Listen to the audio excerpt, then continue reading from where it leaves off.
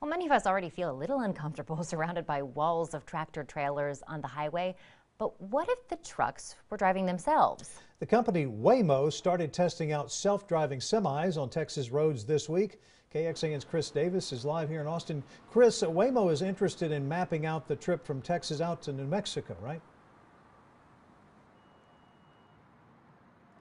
Yeah, the company calls that an interesting and promising commercial route. That's a quote. So you might not be seeing these trucks here on I-35 anytime soon, but truck industry insiders tell us that if this tech is really going to work, it's going to have to be tested here sooner or later. Truck drivers spend their lives on the road, day and night. You didn't make your bed this morning? No, I just woke up. Just woke up. Monsieur Diagne has been behind the wheel since 2012. He worries about sharing the road with a self-driving truck that doesn't share his same instincts. They're not going to necessarily react like like a human being. They will react according to a program.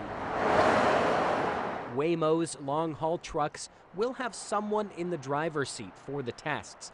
And industry insiders say that'll be the case for a long time. Automated trucking is a great buzzword, but it is driver assisted trucking. The Texas Trucking Association hears from a lot of truckers concerned about losing their jobs. You won't have to go far to find one. But the group's president doesn't see that happening in the foreseeable future.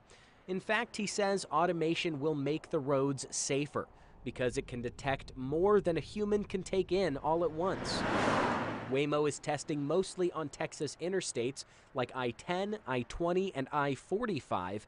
No mention specifically of the delay prone I 35. But you will ultimately have to test those products in those areas. Traffic in Austin is like just a killer. Diagne's regular route from Laredo to Dallas is entirely on I 35, the lucky guy.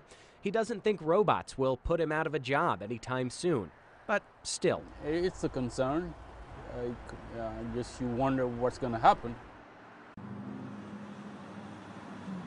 Now, Waymo, which is owned by uh, Google's parent company, Alphabet Inc., it's already tested these trucks in California, Georgia, and Arizona. We'll send it back to you. All right, Chris, very interesting. Waymo says it gave the first ride ever in a fully autonomous car in Austin in 2016.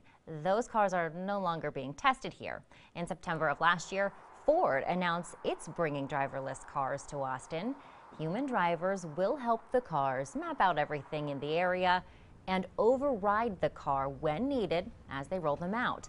The cars have four different types of technology to help them sense surroundings.